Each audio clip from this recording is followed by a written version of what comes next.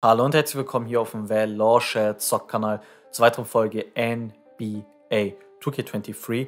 Und ja, Leute, wir sind hier jetzt in der Season 29-30, also wir haben schon einige Jahre jetzt hinter uns, ne? Und haben hier und heute die Opening Night. Was ich noch machen wollen würde, ist kurz mal in die Free Agency zu schauen. Denn hier sind durchaus interessante Leute, ne? Servidian Sivridis, der irgendwie nie in der Liga spielt. Bei denen kann man wenigstens sagen, jo, der ist ganz in der Euro-League. Ne, ich würde es eh geil finden, ne? Also ich würde es richtig krass feiern, wenn es europäische Ligen geben würde, ne? Einfach weil man dann was anderes auch mal machen könnte, ne? Aber gut, bis sie das irgendwann mal einführen, das kann lange dauern, ne? Aaron Gordon hier sogar noch Free Agent, auch interessant. Jabari Walker, Bush Camp, Bitadze, uh, Law hier. Ein paar Leute auf jeden Fall, die interessant sind. Ne? Auch noch Chris Dunn. Ein paar interessante Namen. JP Dende war dann nicht mal hochgepickt? 15. Na gut. Weil wenn man auch mal, äh, wenn man dann auch mal ein Dings hätte, ne, europäische Teams, dann hätte man auch mal ganz andere Spieler, die man vielleicht aus Europa mal holen könnte, Talente daraus. Oder auch mal Spieler, die, wie jetzt zum Beispiel ein Sirvi Dis oder wie auch immer der ausgesprochen wird, der, der könnte dann auch in Europa zocken. So ein bisschen den Mirotic machen und Co. Ne? Das, das wäre schon voll interessant, auch mal Euroleague, ne?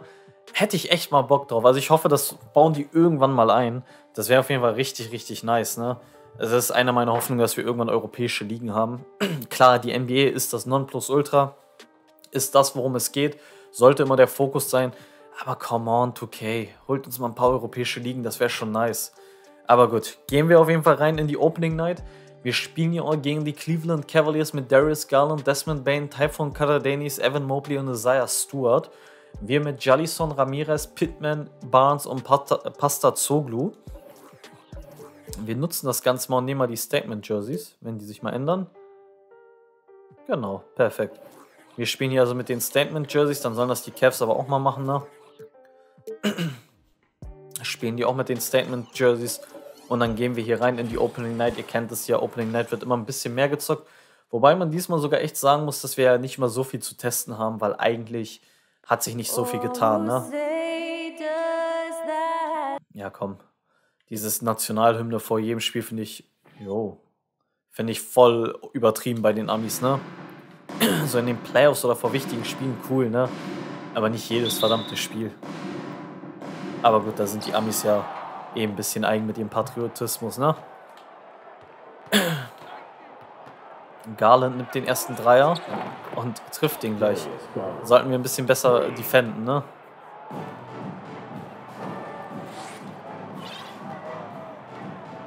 Scotty Barnes.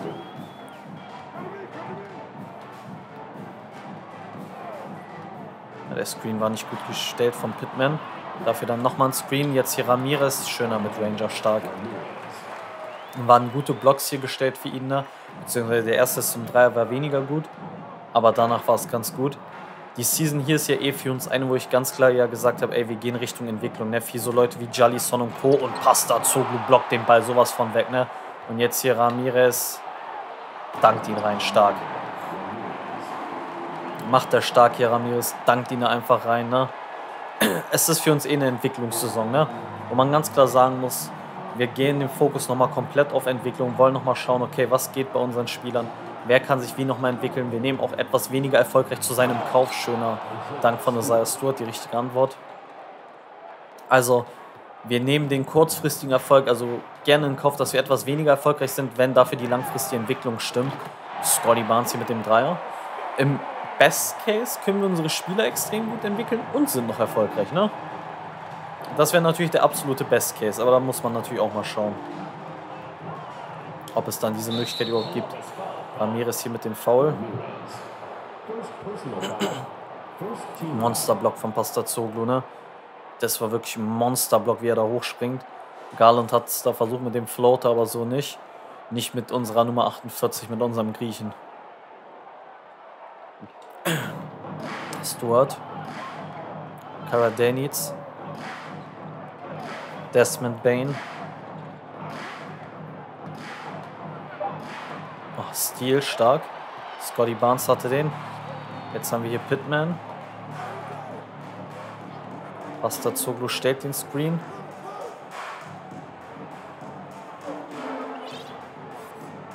Schön zum Korb gecuttet von Ramirez und er macht den nächsten rein.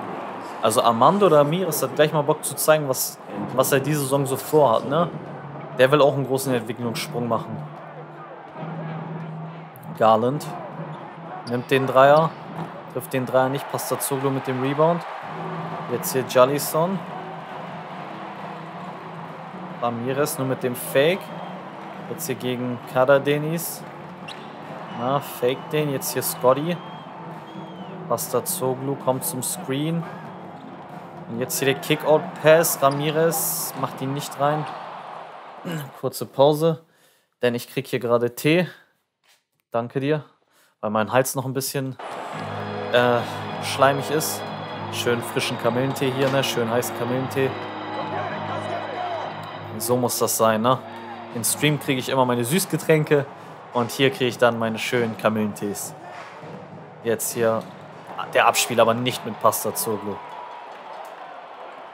Pittman erst der Fake und dann macht Chester Pittman den rein, ne? ganz stark. 12 zu 5, also wir starten sehr gut rein. Garland nimmt das 1 gegen 1 gegen Jallison auf. Oh, Jallison mit dem Block. Und mh, mm, angeblich voll von Pasta Zoglu. Müssen wir leider akzeptieren, ne? Isaiah Stewart macht den ersten rein.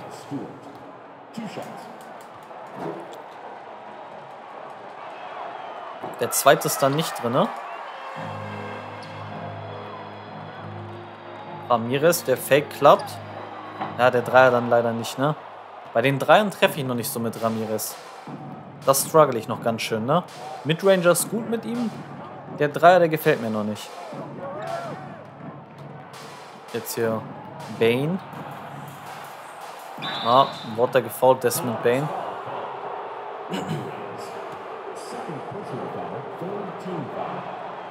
Den macht er rein. Und der ist auch drinne. Barksdale jetzt schon rein rotiert.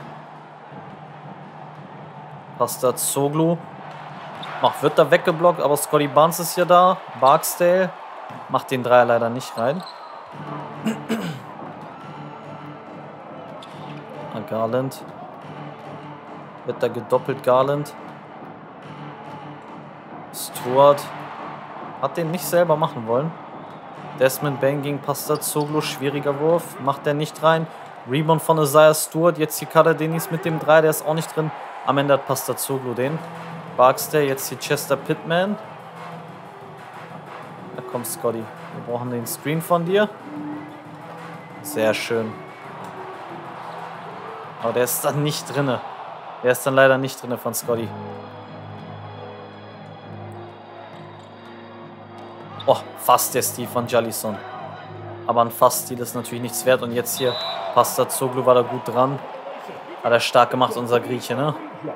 Versucht sich da durchzufighten. Und jetzt hier beim Sprungball. Ah, der Ball ist bei den Cavs. Evan Mobley.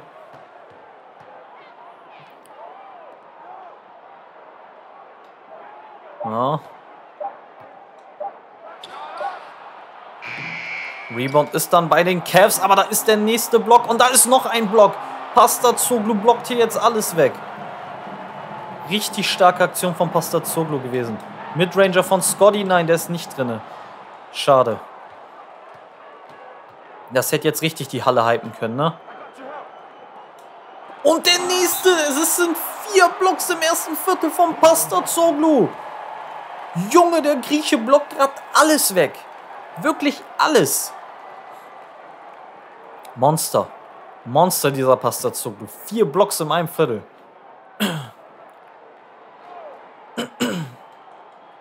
Und jetzt auch noch hier schöne Hände von Pastazoglu. Was bist du für ein guter Spieler, Junge? Also das ist gleich mal ein Statement, wie man die Saison startet, ne?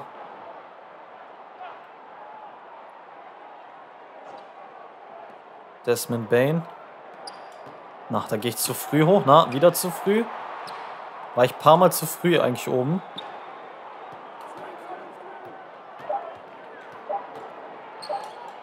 Ah. Den machen sie nicht und passt dazu, du erobert sich dann den Ball stark gemacht. Komplett rüber, jetzt hier Pittman, Jallison. Scotty Barnes mit dem Screen. Jallison spielt den rüber. Scotty Barnes Catch and Shoot. Geht leider nicht rein. Jetzt hier Mobley. Oh, wieder passt dazu, der fünfte. Der fünfte Block. Schöner Pass. Chester Pittman macht ihn rein. Schönes Transition Game.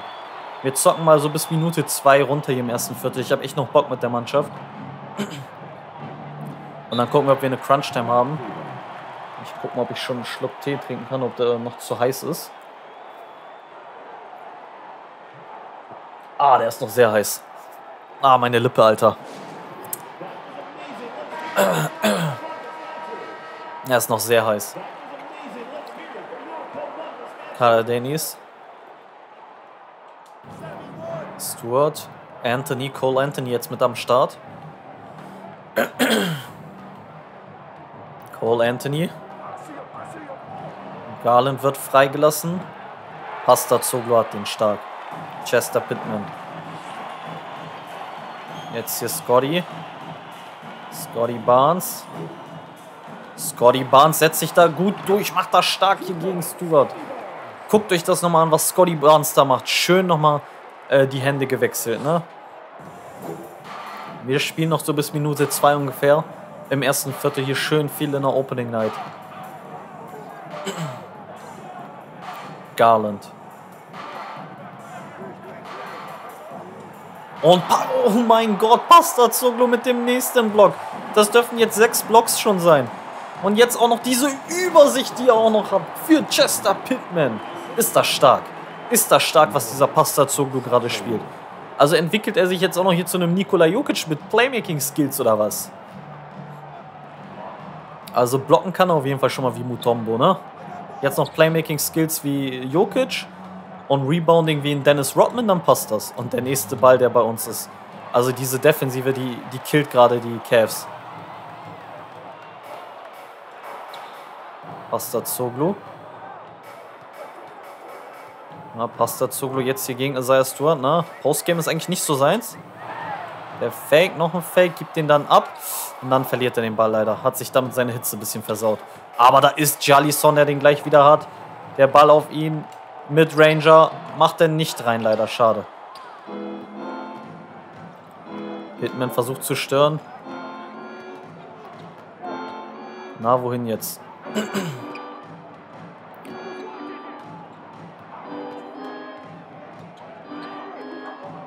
Boah, okay, Mobley macht den. Stark. Stark gemacht von Evan Mobley. Wäre auch wild, wenn Pasta Zuglu noch einen Block hätte, ne? Karadenis war eigentlich sehr weit weg zeitweise. Und der ist easy. Easy reingegangen in die Zone und Pasta Zuglu. Den dankt er mit Leichtigkeit. Also der Grieche jetzt auch das erste Mal gepunktet, ne? Der hatte bisher mehr Blocks als alles andere. Muss man auch erstmal hinkriegen. Garland. Aber der ging nicht zu früh mit ihm hoch. Scotty Barnes hat er gut gestört und am Ende ist es unser Ball. Jalison. Geht hier ins Dribbling. Jalison, was macht er damit? Karadenis lässt ihn da komplett stehen. Macht ihn leider nicht rein. Am Ende ist Pasta Zoglu da. Macht ihn auch nicht rein. Holt sich den nächsten Rebound. Gibt den Ball nochmal ab. Jetzt hier Scotty.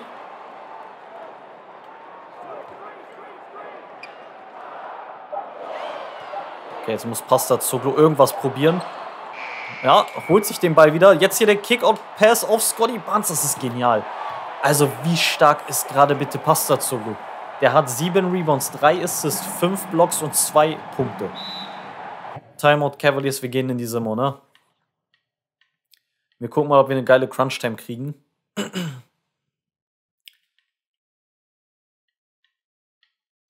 Wow, ist nicht so weit weg, ne? Mal kurz gucken, passt dazu gerade sieben Blocks.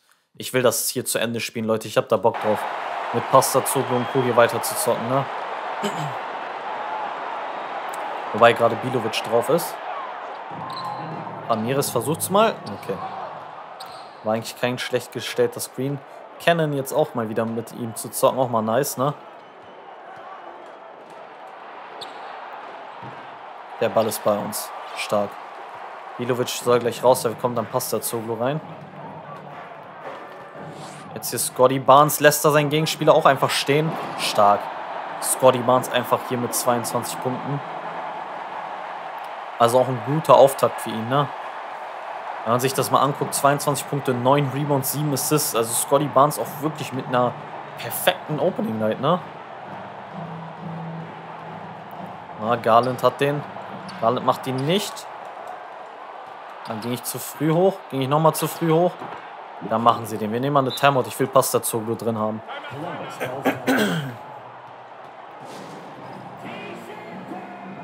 Wenn jemand schon sieben Blocks hat, die Chance hat, vielleicht noch ein paar mehr zu machen, dann will ich ihn drauf haben, ne? Oh, Scotty kriegt er den Screen. Stimmt, OG Ananobi ist jetzt auch mal drauf, ne? Mit denen haben wir bisher auch noch nicht gezockt. Scotty Barnes.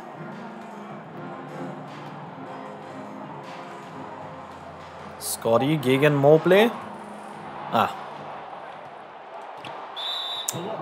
Ja, war dann Transition Take auch noch, ne? Gut. Ist dann natürlich ärgerlich, wenn die es so werten, aber gut. Pastazoglu übrigens Double-Double. Was wild wäre, wenn wir ein Triple-Double mit Blocks hinkriegen würden. das wäre richtig wild. So, was hast du jetzt vor? Desmond Bain. Stuart Garland. Nimmt den wilden Wurf. Ah, der ist auch gut verteidigt. Der ist nochmal rausgegangen. Isaiah Stewart. Macht ihn dann, okay. Macht ihn. Sind nur 10 Punkte, ne? Wir müssen aufpassen.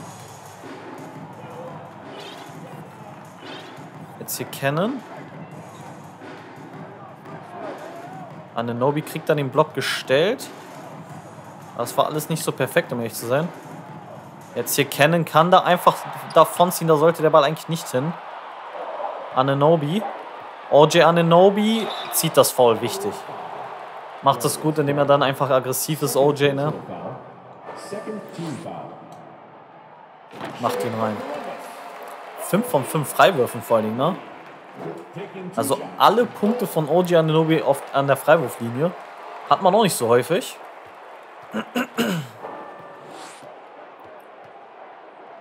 Darius Garland. Cannon ist dran an Garland. Na, Cannon ist stark dran gewesen. Schwierig jetzt hier für Garland. Jetzt bewegen sie sich nochmal viel. Jetzt hat Garland da den Wurf. Macht er nicht rein. War auch ein wilder Versuch. Cannon. Jetzt machen wir es ganz wild. Okay, das klappt nicht. Ich dachte, man kann mal sowas probieren. Oh, Barnes fast. Aber fast bringt uns nichts, ne? Viel zu spät dran gewesen, ne? Viel zu spät dran gewesen mit Pasta Zolo.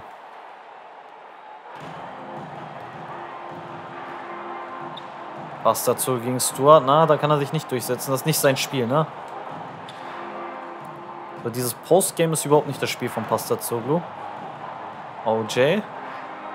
OJ sucht vielleicht wieder hier den Drive. Vielleicht kann er wieder einen Foul ziehen.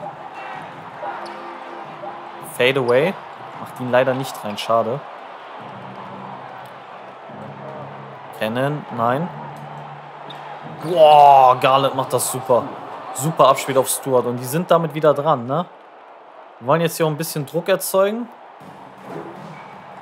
Oh, der Pass ist gut auf Ramirez. Der faked den. Ramirez erstmal hier ein bisschen Zeit noch, ne?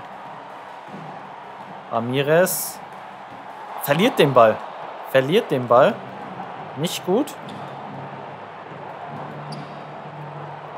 Jetzt haben wir hier Kader Dennis. Jetzt müssen wir aufpassen. Ne? Garland nimmt den Wurf. Trifft ihn Gott sei Dank nicht. Ramirez hat den Rebound. Jetzt hier ein wilder, äh, wilder Pass. Ne? War eigentlich. Das ist alles nicht schlau gemacht. Barnes hier mit dem Foul, schlaues Foul. Verändert damit komplett hier die Transition. Ne? So ein bisschen, auch so ein bisschen hier gebrochen, den Cavaliers-Vibe gerade. Jetzt müssen wir einfach nur vernünftig verteidigen. Vernünftige Defense an den Tag legen, dann gehört der Sieg uns.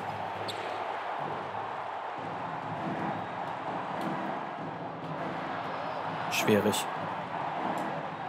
Und der nächste Block. Und der nächste Block von Pasta Zuglu, Nummer 8. Jalison verliert den fast. Jetzt haben wir hier Jalison.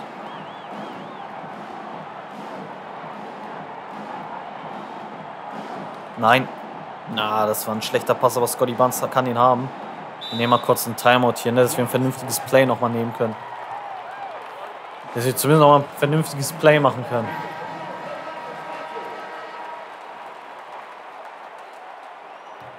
Machen jetzt Full Risk. Oder lieber nicht.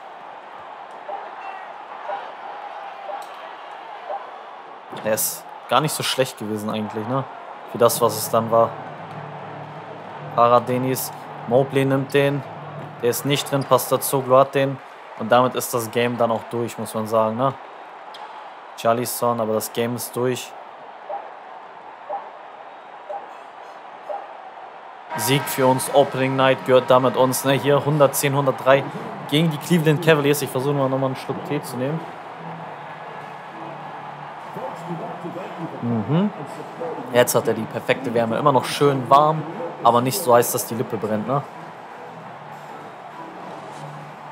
Ah, Kamillentee beste, ne?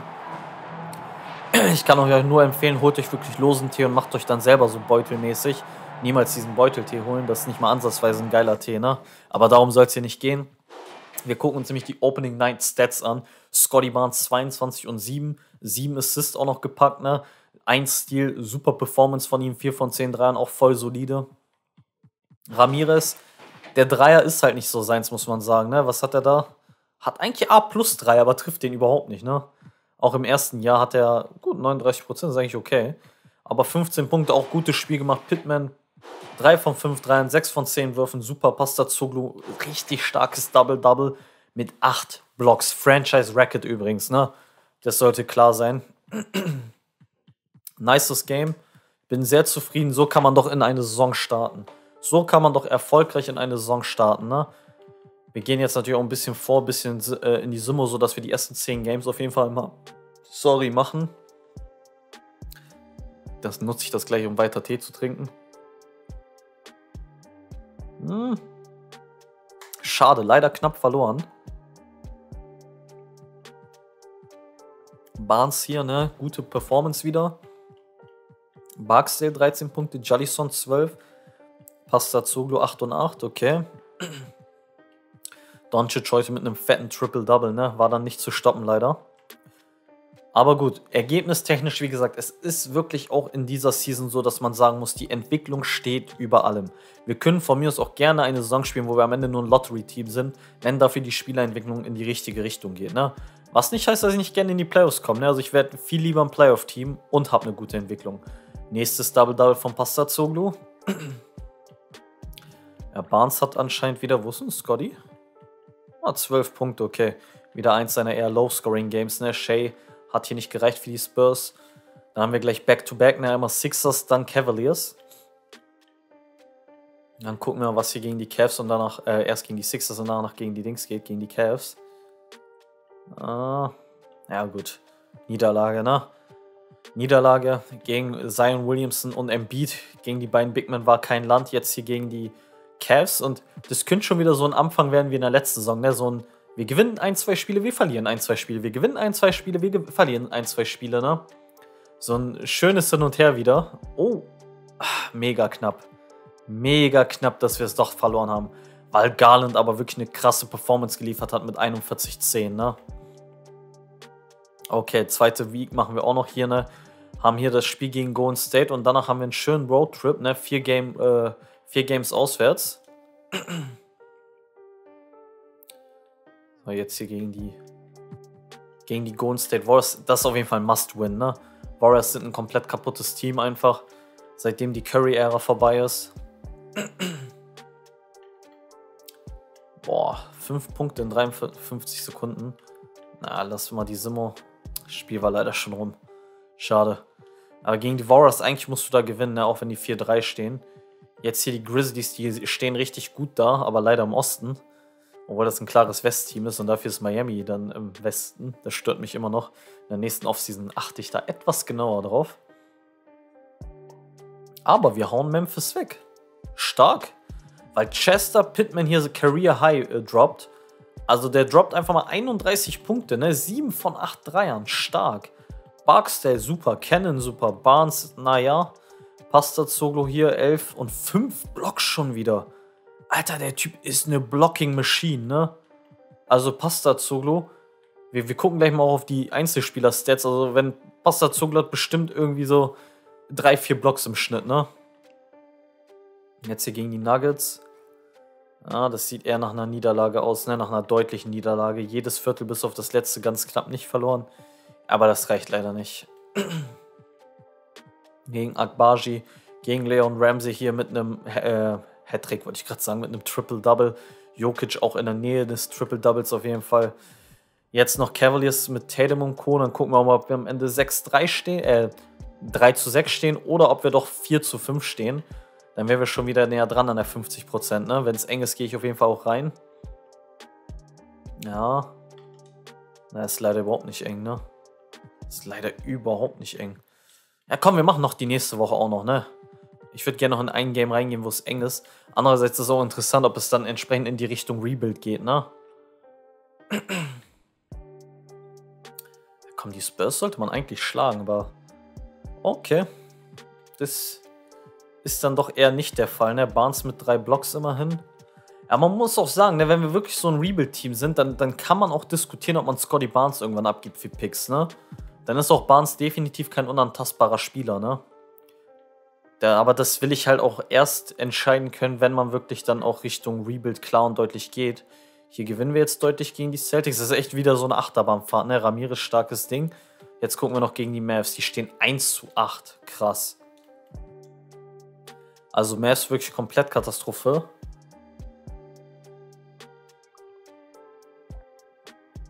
Die kommen ja auch nicht mehr ran. Easy Win. Pittman wieder 30. Stanley, Barksdale, Jallison und Co. Okay. Wir gucken gleich mal auf Standing und so ein bisschen auf die Spielerstats, was wir so jetzt ein bisschen geleistet haben, ne? Wobei, komm, wir gehen nochmal. Ich habe nochmal Bock zu zocken, sonst gehe ich gleich irgendwo von Anfang an rein. Ne? Wir, wir, simulieren noch gegen die Pacers und Hawks. Ansonsten spielen wir so die ersten Minuten wenigstens gegen die Jazz. Ich habe noch Bock, ein bisschen zu zocken. Ich habe keine Lust, jetzt hier äh, nur ein Spiel gemacht zu haben. Ich habe schon noch Bock. Ja, gegen die Pacers kommen. Komm, Team. Das könnte eng werden. Perfekt. Gehen wir rein hier. 1 Minute 32, 3 Punkte Abstand. Schönes Szenario. Leider nicht im Ballbesitz. Leider sind wir nicht im Ballbesitz. Wingate. Ja, der Dreier. Der sitzt Gott sei Dank nicht. Und Barnes hat den Ball für uns erobert stark. Wichtig, ne? Jetzt kam unter anderem Pasta Zoglu rein. Jetzt haben wir Scotty Barnes. Charlie Son. Wohin mit dir? Wohin?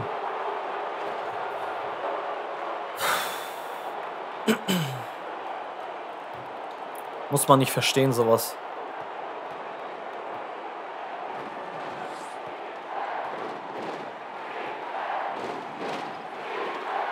Oh, der ist geblockt. Der war geblockt und jetzt hier Williams macht ihn dann leider rein. Pasta zog nur mal wieder mit einem Block, aber leider... Nein, nein, nein, nein, nein. Ich mache nur Scheiße gerade, ne? Das ist... Schwach. Alter, Pasta zog, fall doch nicht hin.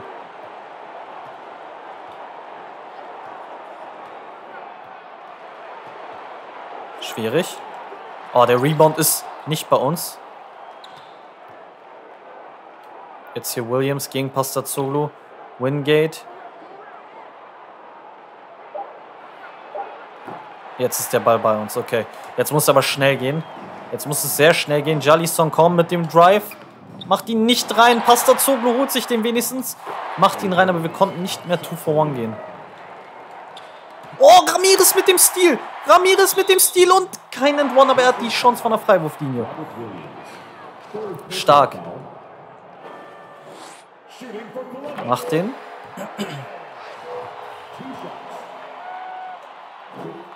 Mach doch den. Mach doch den. Vielleicht nochmal ein Stil, leider nicht. Leider nicht. So, nee, ich will äh, Barksdale dafür reinhaben. Oh, was war das denn? Ey, komm, noch mal so ein. Komm, noch mal so ein. Er macht beide nicht rein. Er macht beide nicht rein. Und jetzt hier Barksdale. Scotty stellt den Screen. Scotty Barnes stellt den Screen. Sie konzentrieren sich nicht auf Scotty Barnes. Der war schlecht. Der war schlecht. Müssen faulen. Und wer ist es? Ist wieder dieser eine. Marty Smith ist es diesmal, ne? Der macht den. Schade. Komm schon, verwerft den, verwerft den, verwerft den. Er macht ihn leider.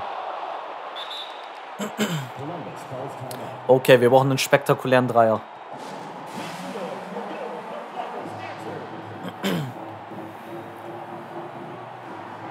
Wir brauchen auf jeden Fall Chester Pittman drin, ne?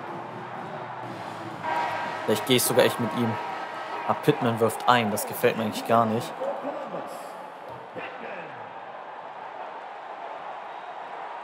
Ey, der Ball muss langsam halt rein, ne? Ah, zu spät. Ja, der war zu spät. Okay, wir verlieren das Game. Schade. Am Ende gewinnen hier die Pacers, ne? Die waren hier auch der große Favorit durchaus mit Matherin und Co. Aber hey, wir haben nochmal gegen gefightet, ne? auch wenn es leider nicht geklappt hat. Wir machen noch schnell die zwei Spiele, dass wir die Woche hier durch haben. Dann haben wir auch so knapp unsere. Ne, da haben wir sogar genau 15 Spiele. Und wenn wir dann wirklich 5 zu 10 stehen, dann wissen wir, in welche Richtung es gehen wird, wahrscheinlich. Wobei wir hier nochmal einen Sieg holen. Oh, die Utah Jazz. Also, die Jazz sind seit einer Ewigkeit wirklich ne, im, im Rebuild. Also, die Utah Jazz sind wirklich seit einer Ewigkeit im Rebuild. Ich glaube, die waren nicht einmal gut, seitdem wir diese Karriere gestartet haben.